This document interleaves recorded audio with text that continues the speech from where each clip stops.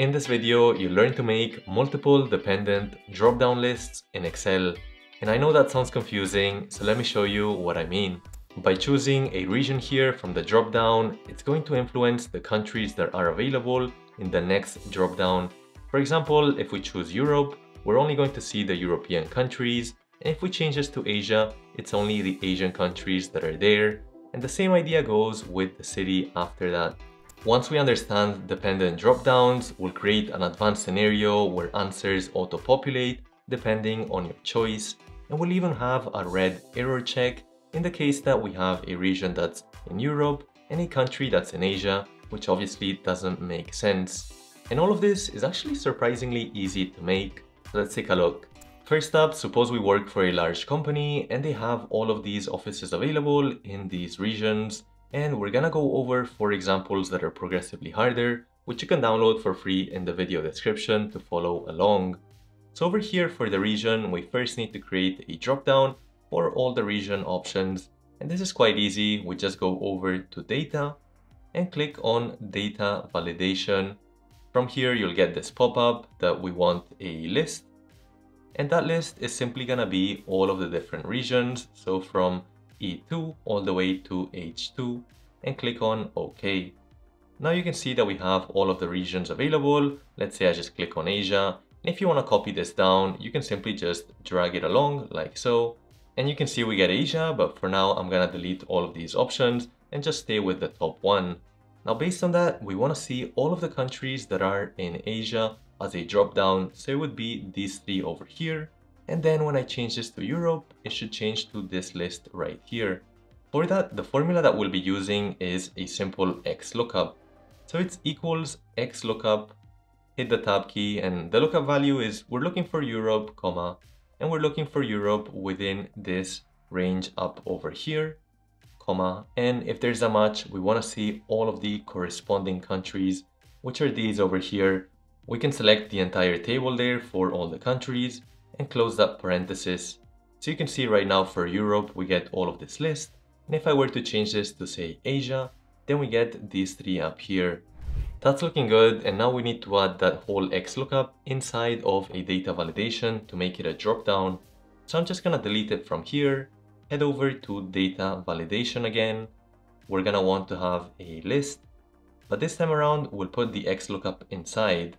So equals XLOOKUP open up the parenthesis and we're looking for Asia. So this cell right here, B3, but we want it to move around. So we're actually gonna type it manually so it doesn't get those dollar signs, comma.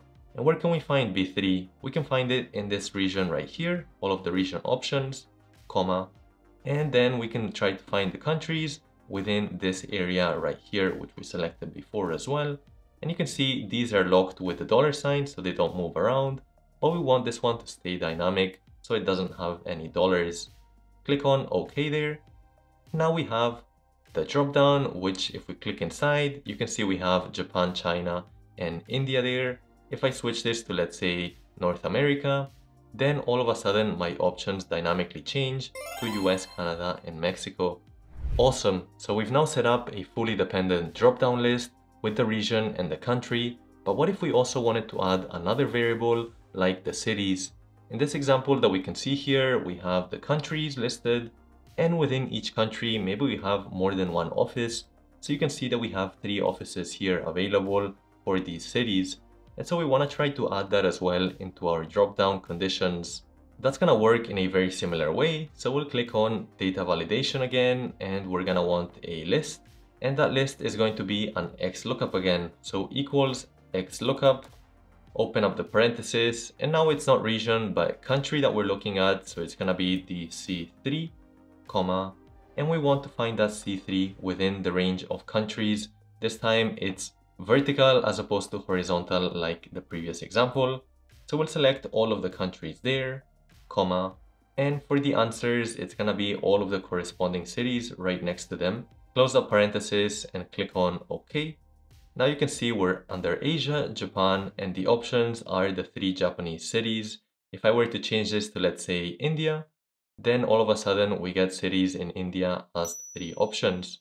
Nice. In the next step, we're going to be looking at how to auto-populate So it shows certain answers depending on our choices.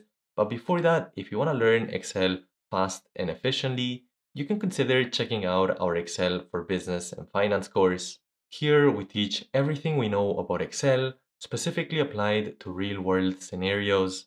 While we still cover theoretical lessons like formatting, formulas, and charts, we also offer several case studies that simulate the type of work you might be assigned in your day-to-day, -day, ranging from financial modeling to cleaning a dataset and presenting some visual insights. And if you get stuck along the way, you can always ask us, the course instructors, any questions. We also offer several other courses, including SQL, Power BI, and much more. So head over to the link in the description below to check that out. The examples so far don't tell us that much information. It would be nice to see alongside maybe the name of the country, who the manager is, how much that country is made, etc. And for that, we'll take a look at this example where you can see we have not just the country, but also we have some important, let's say, summary statistics to the side. The idea is that whenever we choose a region from the dropdown and we select a specific country, we want to see all of the corresponding answers there. So right now this part isn't working, so we need to add a data validation again like we did before. Let me fast forward that. Great, so now I have the dropdown for Asia, it's just giving me the Asian countries, so that's looking good. And right below that, we want to make this dynamic as well to auto-populate depending on our answer. And we can do that with the XLOOKUP mixed with another function. So first, we'll take a look at the XLOOKUP here, and we're looking for India, comma, we're looking for India within this whole range over here, which is all of the countries that we have, comma. And with that, we want to get all of these answers. So the revenue, the profit margin, manager, and the contact. We can do those all in one go instead of having to write the formula four times, simply by selecting the entire area there and close up parenthesis and hit enter. You'll notice though that this doesn't look quite right, and that's because the answers are horizontal as opposed to vertical, which is how we want them. So we'll use this function called transpose, which basically takes something that's horizontal and turns it into vertical or vice versa. So right here at the very beginning of the XLOOKUP, we'll just put a transpose, hit the tab key there, and simply close it at the end. And now we can hit enter you can see all of the data now looks good. We take a look at India, you'll see that all of this is the right answer. And if we change this to let's say Japan, everything auto-populates as well. One problem you might have noticed with the current drop-down list is that the values sometimes stay fixed. If we don't delete the country here, but we change the region from Asia to Europe, then this no longer makes any sense. So to show that this is an error, it would be nice to maybe cross out the value and even highlight it in red. So let's take a look at how to do that and it's going to combine a few functions. Firstly, we would need to identify all of the countries that are within this region with a simple XLOOKUP like we've done before. So we're looking for all of the countries that are in the region of Europe. So we're selecting Europe within this range over here and we want it to spill out all of the returning countries in that region. We'll close a parenthesis, that's easy enough. From here, we want to see if any of these three match to the country. If they don't, then there's obviously a problem. Instead of getting these three values, it would be good to have a true or a false, depending on whether there's an error. And for that, we can put a count ifs here in front, hit the tab key, and the criteria range is fine as is, comma, and we want to know if the criteria range is equals to the country of Japan or whichever country selected here. We can close the parenthesis and hit enter. So right now we get a zero, meaning that it's false. But if I were to change this to let's say France, which is within that area within this list here, then we get a one, meaning it's true. So now we have this error detector working correctly and we can use it inside our conditional formatting. What we'll do is copy this entire formula with Control C there and hit enter.